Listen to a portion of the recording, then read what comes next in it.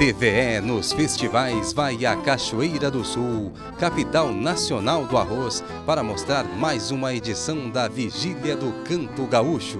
Cavalo, copla flor, apura o passo. Nesta semana, confira as canções classificadas na linha campeira do evento. Levando um zaino a cabresto pra chibiar com os calaveiras.